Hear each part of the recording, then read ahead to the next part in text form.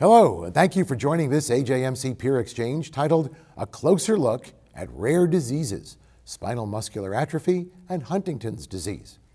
With 250 rare diseases newly identified every year, scientists can barely keep up. Today, we're going to address two rare diseases spinal muscular atrophy and Huntington's disease, and we're going to learn about some exciting treatment options. Together with our expert panel, we're going to discuss the burden of disease and get a better understanding of the disease overall. We're also going to learn about new treatment options that will change the lives of patients living with these diseases. I'm Dr. Peter Salgo. I'm a professor of medicine and anesthesiology at Columbia University College of Physicians and Surgeons, and I'm associate director of surgical intensive care at the New York Presbyterian Hospital in New York. Participating today on our distinguished panel, Dr. John Brandsma, neuromuscular section head at Children's Hospital of Philadelphia and assistant professor of clinical neurology at Perelman School of Medicine at University of Pennsylvania in Philadelphia, Pennsylvania. Shika Dunyo, director of education programs of National Organization for Rare Disorders in Washington, D.C. And Dr. Maria Lopes, medical director at AMC Health in New York, New York. So nice they named it twice, huh? Thank you all for joining us. Let's start off. We're going to start with Huntington's disease. It's a disease I think a lot of people know the name of, as opposed to some of the other, I guess we'll call them rare diseases. Um, and they know so because there have been some prominent people who've had this disease. So why don't we start with a simple definition? It's not enough to know the name. What is Huntington's disease? Well, Huntington's disease is an inherited condition. It's a neurodegenerative disorder. So we tend to see patients presenting in uh, young adulthood with the disorder, in their 30s or 40s with first symptoms, although there are rare pediatric cases as well. I'm a child neurologist, so in a very rare circumstance, we may meet uh, people in childhood with this disorder, but most of the time it presents in adulthood.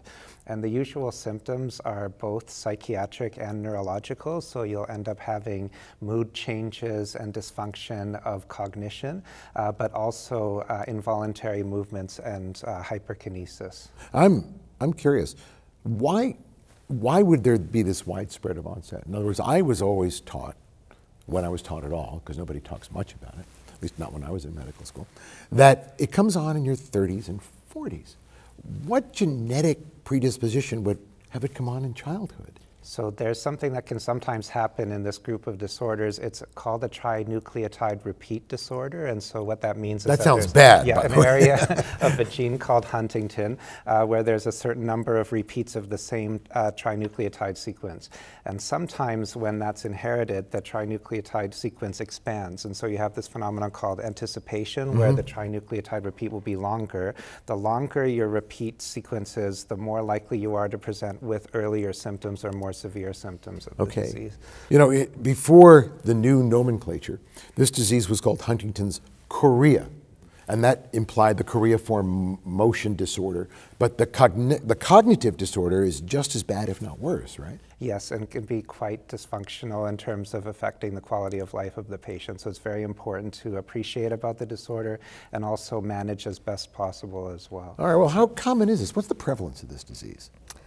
Anywhere between 5 to 10 per 100,000 persons. Okay, it's not a lot, but if you've got it, the incidence is 100%, right? And so, how many? How, there, there's two classes of patients those that are undiagnosed and then those that are misdiagnosed. Do we have any data on this? How does that break down? That's really challenging. Well, that's why I asked I, you. yeah, I think we tend, um, as payers, we tend to understand perhaps those that have been diagnosed that have a higher level of severity. Perhaps they're already on treatment, um, including tetrabenazine. Uh, but otherwise, we may not even know these patients exist in the community. They may be misdiagnosed, they may be classified with other uh, conditions. Um, but perhaps until they get to a specialist and have been diagnosed, but, they're but this percolating is a, through the system. This is a big time disease. I mean, if you've got it, the symptoms are not subtle are they? I mean, how would you misdiagnose this? Well, I think if the primary uh, symptoms are psychiatric and cognitive, it may be more challenging for a clinician to think of a neurologic cause for it, and they may be managed more in a psychiatric realm. Um, I think once the movements come in, most people realize that there's something associated with that and might get um, onto the right track in terms of the workup, but it can take time to get to that point for patients.